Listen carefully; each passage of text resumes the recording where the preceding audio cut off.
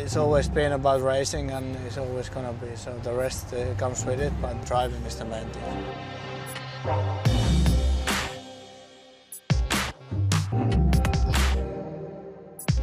Are you somebody who gets excited by road cars? No, no.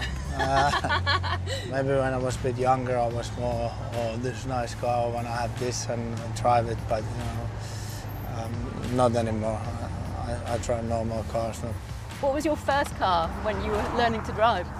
I have a Lada, uh, Russian-made Lada, very uh, robust car. Never colour? breaks. Uh, it was a red, but uh, we painted black, so it never break down. So it was perfect. It took me from A to B, so it was good. So what was it that got you so excited that you wanted to become a Formula One driver? Um, I always enjoy different things with engine motocross, and I actually started on that. And uh, then I started to do a bit better, and uh, I still didn't believe that I would never make it to Formula One because we didn't have the money, and uh, I just thought that I'd do the go-karts as long as possible and then uh, do something else.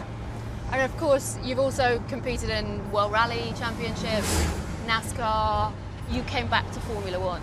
Uh, obviously, rally is different because you don't race against people. Really, you you, you race against time. Then once I went and did some NASCAR races, it's just different. You know, it was good fun.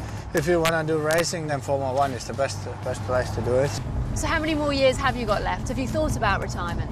I'm not a young guy anymore, so obviously I want to do something else also in my life than just uh, Formula One. That I will finish my uh, career in Ferrari, F1 career in Ferrari, probably with a family. So that will take a lot of time and effort. So uh, I think uh, whatever comes on the side of that, and we have to see.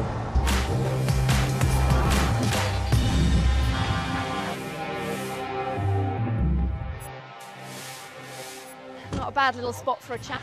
Oh, it's nice. It's been a pretty tough season for you at Ferrari. How is it compared to what you were expecting when you rejoined? Um, obviously, the results are not as good, but uh, you know the rule change uh, was quite a big. It's been a bit more harder probably than I expected. Uh, we improved the car a lot uh, since beginning of the year, but obviously we're still uh, a bit far away from the, the Mercedes cars. Has there been a point in this season where you've ever regretted coming back to Ferrari? No, no, absolutely not. I know the people, I know the team. I won the championship with them, and uh, you know it's uh, it's a it's a best place to come in Formula One. It's a Ferrari. Not many people get to.